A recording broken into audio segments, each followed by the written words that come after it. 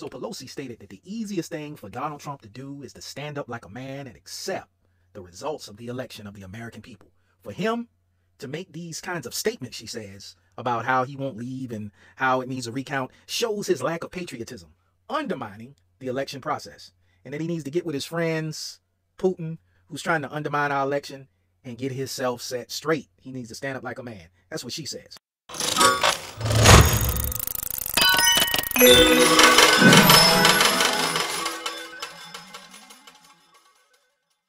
But before we start, please make sure to subscribe to the Stimulus Check Update Lighthouse Alert community and hit the bell so you never miss an upload from us. Also, leave a like, right? So what's up, y'all? Uh, this is the stimulus check update. I hope your day is going excellent up until now. Earlier today, Stephen is chewing gum and Nancy's chewing gum too.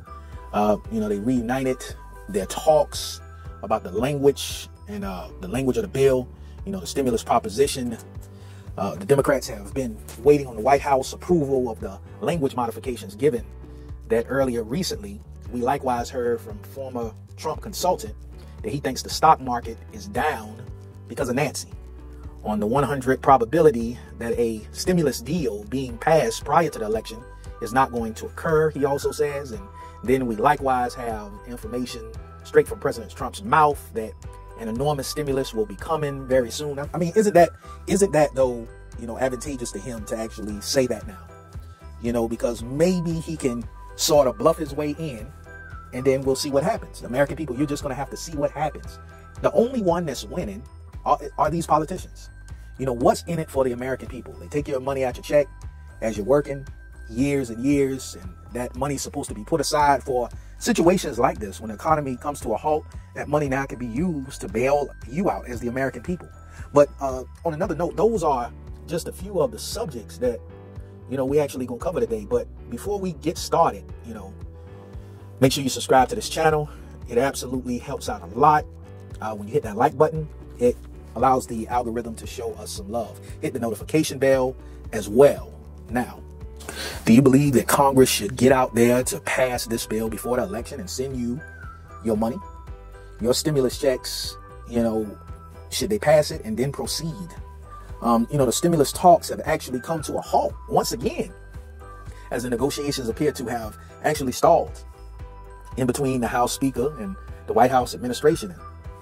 Chances of Congress striking a deal before the November election, you know, um, greatly reduced this week.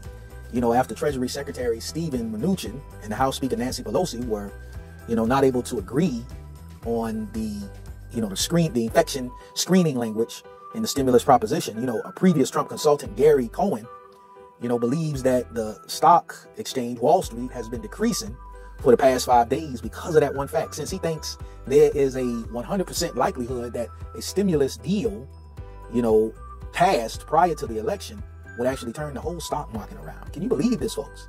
He said, you know, I think now that with, you know, eight days to the election, seven days to the election, depending on when you listen to this, no one believes that we're going to have a fiscal stimulus up until after the election, you know, um, is actually just horrible.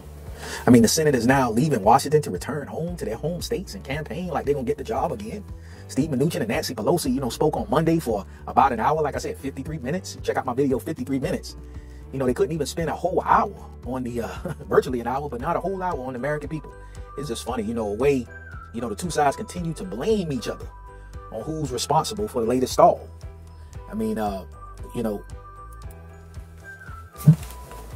you know, today President Trump was talking to the White House press reporters and he targeted Pelosi for looking for bailouts for states and cities run. You know, I mean, Democrats, you know, by the Democrats, you know, Trump believes that Nancy Pelosi is only interested in bailing out terribly run, crime ridden Democrat cities and states. And, uh, you know, she is not interested in assisting the American people. And because of that, he does not believe Pelosi will, in fact, be around a lot longer. You know, so these two, they just taking shots at each other, Pelosi and Donald Trump. He believes that they will actually reclaim the House very soon. And President Trump went on to state that after the election, we will get the best stimulus package out that you've ever seen. Once again, so, you know, y'all keep in mind how Trump has specified various, you know, times how he wants a much larger stimulus package than the Democrats want. And he has restated numerous times to the Republicans that, and you know, they need to go huge or go home, statements like that that he does on uh, Twitter, you know, and it got support recently from Lindsey Graham down in down in uh, Georgia and near South Carolina, and, and, you know that he actually is aligned. Um, Lindsey Graham stated that he's aligned. Likewise, you know, this week when they had a Georgia press conference, a debate on the local stations down there. Now we we sure hope that he stands by his word as well down in Georgia. You know, if uh, the Republicans do reclaim the, the Senate, you know, what does that mean? What do you guys think? I mean, the House that would eventually, you know, provide him complimentary reign to do so, whatever he desires in regards to a uh, second stimulus package. So at this point, it appears that the settlement talks will be on shortly after the election. But will we know who actually won the election after after it's done? You know, the few states that are allowing, you know, for mail-in ballots to be accepted, of course, those have to be counted.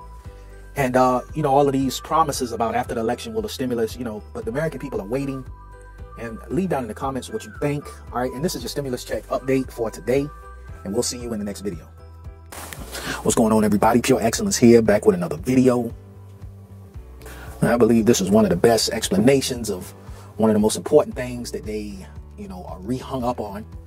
Uh, we keep hearing testing, testing, and the language, and you know, so I think this will offer you a much better concept of precisely what they're talking about. You know, we're going to discuss this on the other end after I show you, you know, what they're talking about. Um, where we're constantly speaking about like they're making progress. They're making progress or not making progress. My understanding is that the problem isn't the top line number, which could be, re, you know, could be negotiated. The size of the package, you know, my own problem is that there are substantial differences substantively between what they're talking about. What you want to see out of the package in terms of what it devotes the White House to be doing on testing and suppressing the virus and what they are willing to do, you know, is that question. And it appears to me that if your position, the Democrats' position, is we should suppress and contain the virus first. And, you know, the White House position is no, don't contain the, the virus. And we need to not. You know, that is not, you know, negotiable. You know, there's no working out to be done.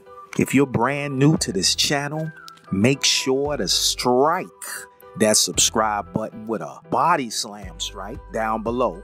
And like and comment please because a like and a comment are always valued. Likewise if you would not mind sharing this with your friends and family due to the fact that i'm sure they would likewise like the most up to date information on the stimulus check number two and unemployment benefits readily available anywhere here on YouTube, which is what I provide here on this channel. The Lighthouse Stimulus Check Update Alert Club right here